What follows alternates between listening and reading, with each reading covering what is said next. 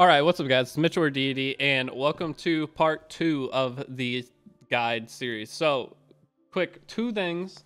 Um, if you're new to the channel, if you're willing to subscribe, that'd be awesome. We've gained like 600 subs in a couple days, which is insane for Epic 7. But I'm going to be covering a lot in today's guide. So this will probably end up being a very long video. Um, over the or course of this guide series, I'm going to be covering basically everything I could possibly think of. So once you get into day two, the first thing that we're going to go over real quick is going to be guilds. So I will say whenever we get into guilds, join the Discord. Half of Epic 7 is the community of Epic 7. So if you aren't in any Discord whatsoever, you're not going to get the full experience out of Epic 7. It just isn't going to happen. You can join the main Discord, free 7, but join if you are wanting a guild you can join my Discord. I'm going to be making new player guilds. I'm going to have a couple guilds myself, and I'm going to need some of you guys to run them. But I'm going to go over exactly what to do every day for your guild. Um, and that is very important that your guild is doing everything properly because that will make a ton of progression on your account. So guild's going to be one of the first things. Second is or well, what I'm going to go over first though is summoning and character um, organization. So I'm not going to talk about what characters are really, really good yet. I'm going to mostly talk about what to do with the overflow of characters you get. So let's do our summons. So you should get 10 summons per day. Um, with the 10 summons per day, you should eventually get a couple of good things, but hopefully you did your first 10 summons yesterday. If you didn't, it's fine. Uh, you'll be able to kind of go from here. So let's go ahead and start our 10 summons.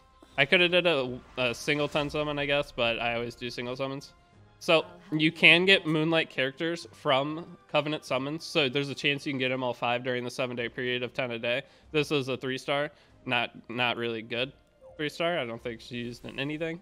But the bad thing is you cannot skip if it's uh, not a new character. So Taranor Guard, very good. He is going to be used on my Wyvern team. Glad I got him we're hoping for any kind of spark. If it's purple, you can get excited. But one thing is you're going to be saving one copy of each character no matter what. And I'm going to be showing you why on that. It's actually the source of a ton of bookmarks you can get. Almost all three-star artifacts you will sell. So there's a spark. It is a three-star artifact. Aurius, any knight artifact would be great. Steadfast Gatekeeper. This actually just got buffed. So this increases defense of all allies by 5%, decreases damage taken from a leader boss monster. So this is actually pretty good for Wyvern. Uh, I said to start with Aurius, and Aurius is good because it's used in PvP. It's the core artifact for that. But this is actually really good for your front take for Wyvern. So we may end up using this in the guide, but Aurius works on it too. Just e either one is either one is really nice. So that is really good to have. But that is the only spark we've gotten so far. Yesterday, I didn't really get anything good, to be honest. I did get one purple spark, and it was Benevolent Romann, which I may end up trying to use on the scout. I don't know. He, he, used to be my favorite character in the game. So Alexa, she's going to be a Wyvern unit until I get Mui. Um, there's another four-star artifact. Aurius, there we go. So this is going to be a core PvP artifact. It is very, very good. So, even and Daydream Jokers, it's always nice to pull Daydream Jokers, but the game gives you enough that you don't really need to. So, the next thing you're going to be summoning on is the Tamarinne banner. So, this is the most important banner to summon on. All other content creators will tell you to summon the limited units because they're limited and you can't get them again for up to a year. But the thing is, if I were to summon Landy right now, some of you guys will be starting after the Landy banner. If I were to summon Landy right now, one, to use her most efficiently, she needs an artifact called Guiding Light, which is a limited artifact. So yes, I could pull her, but I can't even use her for months of playing the game. So she's just a character that's going to sit on the account when she's going to come back in a year, and you can work around not having her. So the that's one thing that I always kind of disagree on with other content creators that always push you to summon limiteds is if you're a new player and not playing the game to your like the fullest because you don't know what you're doing, you're not going to be able to take advantage of these limited characters. So I still personally think that the most important first summon is going to be Tamarinne. I'm going to do three single summons. So I'm going to do some 10 summons to try to push it. My cat is going crazy, so I'm sorry about that. So Misty Chain, not really great. So after we do our summons, I'm going to show you what to do with your like overflow of everything. All right, cat, stop. Buddy. Come here. Come on. Come on. Jump up. Alright. Get him to calm down, put him in my lap. little monster today. Okay. I just woke up, so he's excited. Alright, so let's do some 10 summons. Uh, we didn't get a purple spark. So with 10 summons, you can skip and you can, it'll just have a new one. So Mui. So this is a character you hope you get. If you do all your 10 summons per day, we're not going to worry about building a Wyvern team really until day 5 um, because you get a free HP set from login on day 5. So you have five days of doing summons to try to get a Mui. And if you don't get him, I'll show you what to do if you don't get him, but I will that he is a Wyvern god. So let's keep going. So no spark, so we're getting a little unlucky. We got Kawazu and Rose and a bunch more three-star artifacts. So Rose, if you don't have Crozet, can be used as your front tank for Wyvern. So she, I think, is the second best option if you don't have uh, Tywin.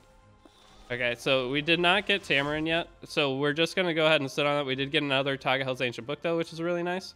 Uh, we have a ton of characters now, and we have some overflow within our thing here.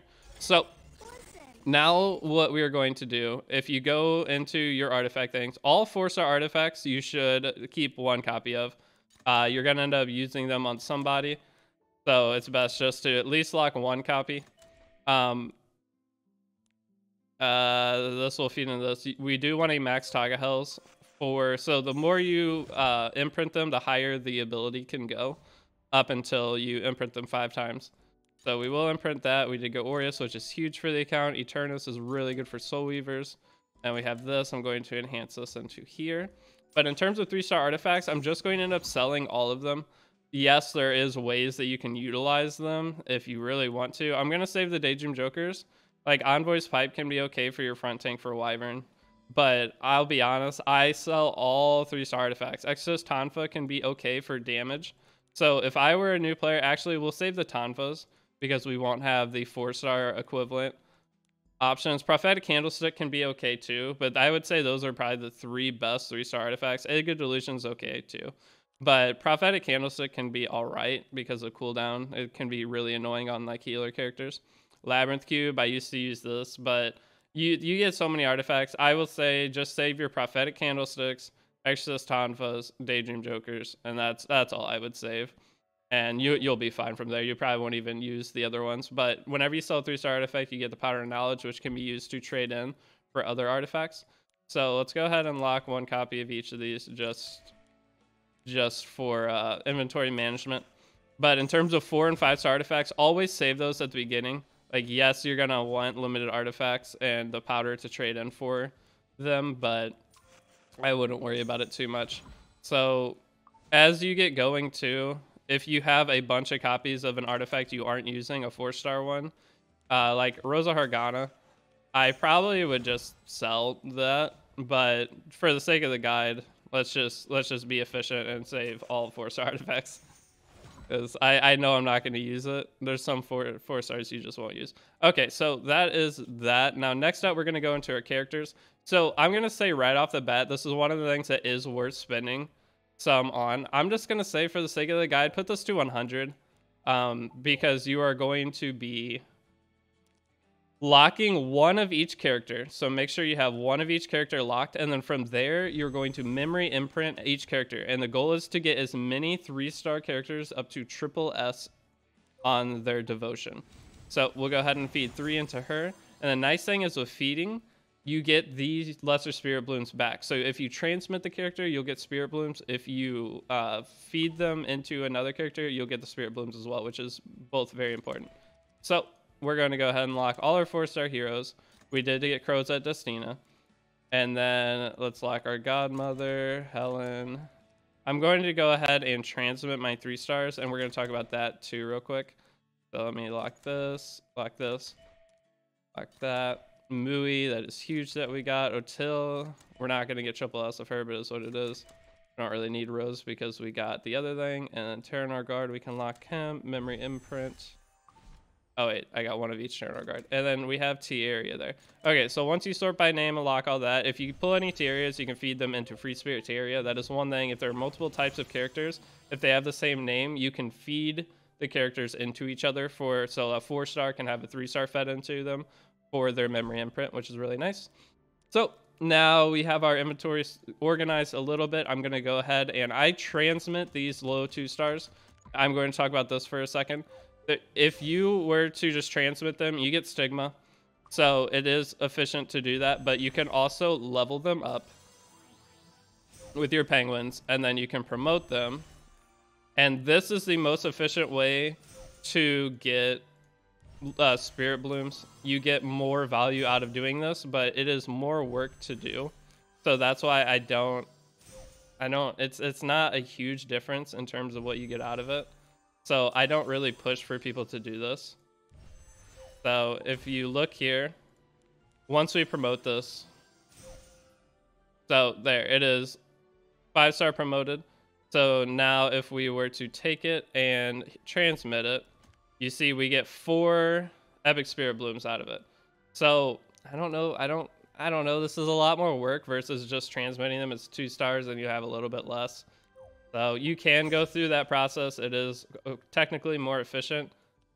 But the way you six star heroes in this game, it's so easy that if you want to, I'm just going to do my way and you can decide how efficient you want to be in the game. We'll just put it that way. So next up, I'm going to go ahead and imprint a Ras with his things just for inventory management. So these you get from story. You'll get some from regular adventure, and then you get the rest from unrecorded history, I believe. Or no, you get them for the regular chapter. So as you have hero overflow when you are summoning, you will see that you'll have all this in here. So make sure that you do this and put them in your inventory. If you were to click transmit, this turns red, and if you feed them in, it auto transmit them. So it puts them, it just sells them. So you may want to make sure when you're doing this, this is not red. So if you have a super rare character in here and you accidentally were transmitting other heroes, you will lose that character forever.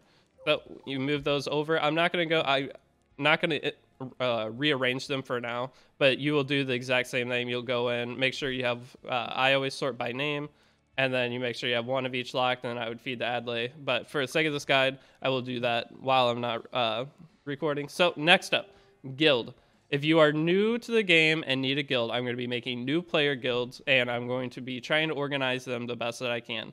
So, if you made your own guild, I wouldn't try to join Discord and recruit players to it um, unless you've watched this guide and fully do what I say for the guild in this guide.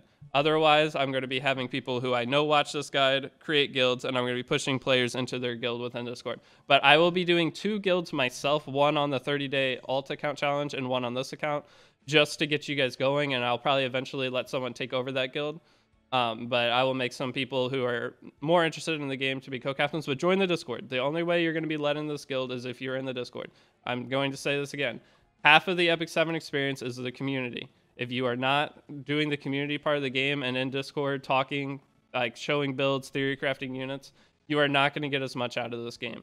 So join the Discord. Also, if you want to play uh, Epic 7 on PC, a link down below for LD Player. Uh, that is what I use. So LD Player is, um, I don't know, the emulators are all different. You might have to try it, and if it doesn't work, you can try one of the other ones. But if you do use the link down below, I do get a kickback, so it's a way to support me. So for the name of the guild, uh, I don't know. Actually, I should have thought about this before I started it. So, uh, I don't know. Just Epic Seven Guild. Nope. Um, uh, this part's hard. I don't know. I'll just name it Deity Guild One. I'll just name it Deity Guild. Intro. New players. So I would not. Th this is me making the guild. In terms of uh, joining, I'm going to be selective. Uh, or no, I'm going to be private at first because I'm going to have you guys send in Discord for me to invite you. Um, and in terms of rank limit, there is no rank limit because it's private. And then you found it, and it was it was open. So Deity Guild. Um, this is just going to be a guild for new players to get into the game. And if you find another guild later that does the same thing, you're you can just go join that. But this way, I can continually get new players in that are going to be able to get the progress or progression of being in a guild. So first things first, every day in the guild, you're going to request a hunt material of the highest rarity you can. This is the most important thing from a guild. Never request catalyst. Never do this. It hurts the guild. You do not get as much per day out of doing it versus this. So all of my guilds, if you request catalyst, if you did not watch this part of the video, you will be kicked day one once you do it. so do not request Catalyst. If you want to set up a trade, you can find two other people in the guild and do some kind of trade. But the most efficient thing is to do this. Like doing runes isn't terrible, but if you're going to be part of my guild, it's about progressing and being as efficient as possible so your account can get to a point where you are wanting to stick with the game. So it is requesting the highest rarity of hunt materials you can. So we're going to go ahead and request this for today. Next, you want to donate every single day, no matter how much gold you have. Donating this is super important because it's going to allow you to get the buffs from the guild, and then you get 50 of these Brave Crest. So the next most important part of the guild is going to be one, you're going to be trying to get Commander's Armbands, which you get some for donating your Proof of Courages, which you get from doing World Boss, which unlocks level 50. And then you also get some from doing, uh, or you get one per, uh, what are they called? Urgent missions. So these will stack up a lot over the next few days. On my challenge account, I have almost 200 sitting there, but you will be able to donate three per day, and that is the only use for them. So the reason you are going to be focusing guild is because from with commander's armbands you can buy these artifacts they're five star artifacts that are free symbol unities one of the best damage artifacts in the game warhorns one of the best utility artifacts guided decision has some use cases bastion of hopes one of the best for uh, soul weavers. It's all, all of these artifacts proof of valor is one of the most important artifacts in the game. Uh, all of these artifacts are insane. So or most of all of them. You don't really do Victoria's flag for probably years of playing the game, but otherwise, Proof of Valor, Symbol of Unity, Warhorn, and Bastion of Hope, these four artifacts are key to getting um, your account stronger. Next up, you're going to have this other stuff you can buy. You won't focus on it right away. Yes, the gold transmit stones will look nice, but the artifacts are just so much better. Uh, you will be buying your Molagora each week you will probably I buy the Mystic Metal each week, no matter what. Just it's Mystic Metals are so hard to come by, and Moonlight characters are too nice to have. You will be buying these every week, uh, not these, these because anything that costs Brave Crest, you will be buying once a week. So you will buy all these. These equipment conversion chests are some of the most important items in the game. So you will be getting those. That's how you can kind of target and get specific gear you're looking for. You will buy this labyrinth compass every single week and then any overflow you have, you can buy infinite artifact charms depending on how much extra brave crest you have. That's why I push everyone to do guilds efficiently because as you get further into the game, artifact charms are one of the most rare resources because there's no way to get more of them. You're pretty much locked behind. You can only buy them here. You can get some from weekly rewards and you can buy them from like the rare shops. That is it. So artifact charms are some of the most important things to to get, and this is the best way to get them if you do guilds properly. So this is very important for progression of your account. So make sure you are doing what I like the things with aid or requesting the highest rarity and donating every day. Make sure you are doing that. That is the most important part of being in the guild.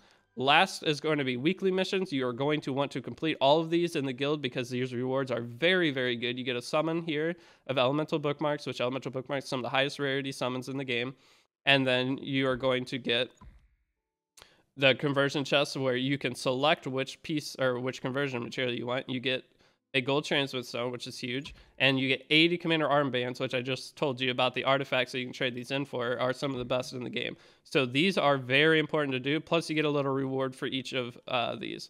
So all of that is very important, as I've said 17 times. Next up, if you're donating and doing those missions, you get honor coins, which the guild leaders and co-leaders can then buy exp bonuses and uh, gold bonuses. I will. It used to be the gold bonus was the most important thing to have on the account. Now the exp bonus is super super nice too. So you're going to be doing that. And if you are donating your proof of courages every day, you get this guild supply chest, which can give uh, sky stones. It can it can give like 200 sky stones, and you can get one of these per week. So this is just a ton of progression that if you're doing your guild properly, logging in each day, to do your guild stuff takes 10 seconds and then you move on. So Guild War is the last thing we're going to talk about.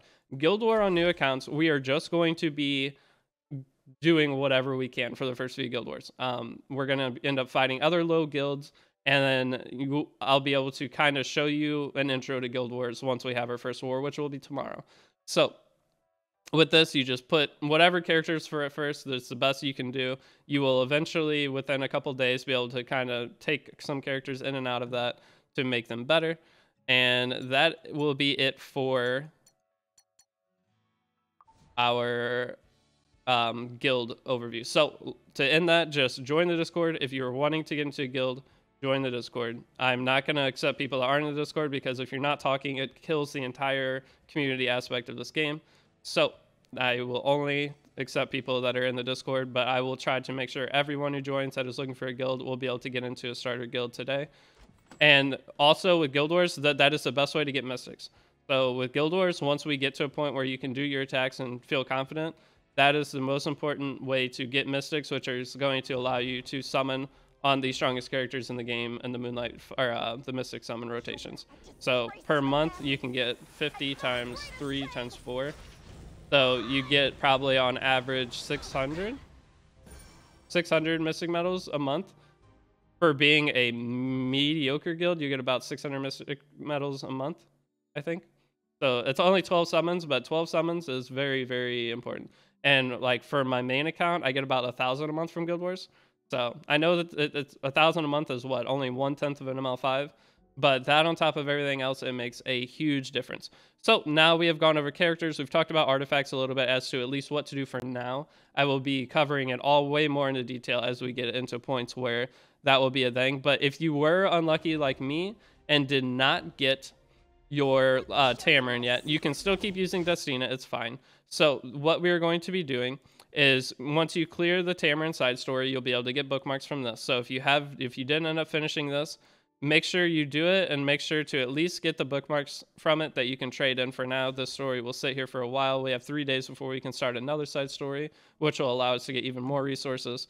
So uh, just make sure you get the 60 bookmarks, or I don't know if it might be more, but 60 bookmarks from that. Once you're done with that, then we are going to be going into adventure and we are going to be clearing some of chapter two. So this is what I'm going to be working on for right now. I will come back once I get a little bit into it and kind of give a guidance of what I did or what I'm going to be working on next. I don't know how much more I'll cover for today. It just depends on how far I get. And then I think just covering that is pretty important though. But I will be back once I finish some stuff. See you then. All right, guys, so this is going to actually be pretty much today's video is just going over guilds and then the character and artifact organization at the beginning. I'm going to make uh, part three later today. I'm going to be working on it all day while I'm working on uh, people's account work to the side. But the joining a guild is so important. I want to push everyone to do that right now so that you can start getting the bus while you're farming the next part. So I'm going to talk about what to farm, but join the Discord, get in a guild. Uh, we'll get all that set up today. So do that first. Next is still going to be focusing on your adventurer's path. Once you equip enhance equipment to plus 15, then you're going to need to promote a five star to six star. So in order to do that, you're going to just continue adventure until you start failing stages. If you end up failing a stage, then that's when you'll need to go readjust and upgrade some gear on your heroes. But keep doing this, and once you get to a point where you're stuck within the story, you'll continue to earn skystones and your regular rewards. So make sure to claim all those, obviously. You'll get some bookmarks that you can use on Tamarinne if you didn't get it. If you get Tamarinne, stop summoning for now, and I'll tell you what to do with your summons later. But if you get Tamarinne, just switch her out for Destina for now and uh, have her on your team. And you can put whatever gear you have on Destina on her instead. So just keep focusing on that, clear as far as you can on that. If you get stuck, then you will go to side story. Like I said, make sure you finish the Tamarinne story first, and then from there you're going to go ahead and go into Adventure's Path and or uh, unrecorded history. Sorry, not Adventure's Path, and clear as far as you can into this, and then from there. Your goal is to be continuing to clear stages. If you have to go into the Tamarinne side story and continue to clear the easiest stage on that, you'll get some leafs out of it, which leafs are really important for later. Once we run out of stamina, you'll see that. But your goal is to keep getting your stigma up and as you get stigma you're going to grab these epic spirit blooms but it is important before you grab the spirit blooms to make sure you are 313 so that you're getting the most efficient uh, buying out of it so keep buying these. Once you are able to then promote your free spiriteria to level 60 so you can keep going in as you're clearing stages and you'll click auto select and you will once you have enough you'll be able to switch over. So every 25 lesser spirit blooms equals one of these and like every four of these equals one of these or something. So just try to get up to 20 of these or in any combination. And if you have like 16 you hit that it'll ask if you want to auto trans uh, or like convert the other ones to purples just do that and then promoter and once you get to that then that's when I'll come back and show you what to do in the next part of the video. But those are the three things you should be focusing on. Next, also that you could do is um, I wouldn't do labyrinth yet. Uh, if you do have five labyrinth tokens, then before the end of the day, if you if your day is about to reset, you can make sure to use one and just you, your goal is to just clear all of these. Just get as far as you can into them. This gear sucks, so don't worry about getting it.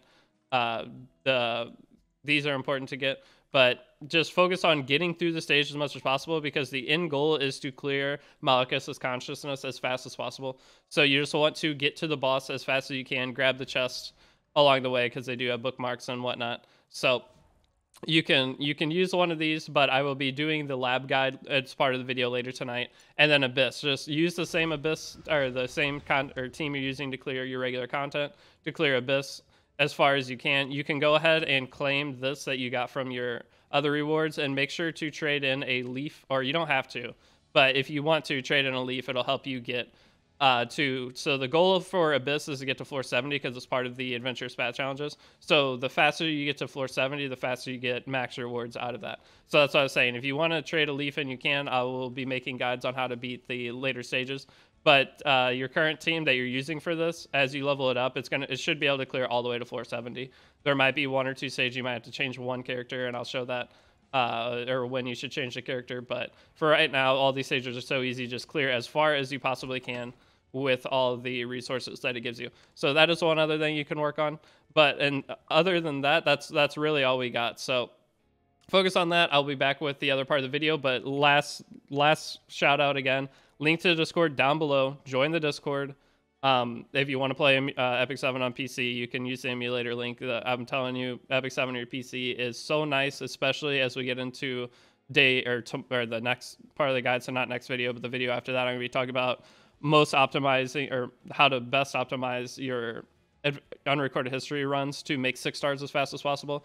But the second part of the video today that'll be uploaded tonight is going to be going over Labyrinth a little bit and then pets. So the pet system you should have unlocked by then, and that's going to allow you to auto. So all of that will be later today, but the focus of this is get you in a guild as fast as possible. But hopefully I see you all in Discord, and then if you're new, subscribe. It'd be awesome so you don't miss these videos as they come out. And I will see you all either in Discord or in the next video. Peace out.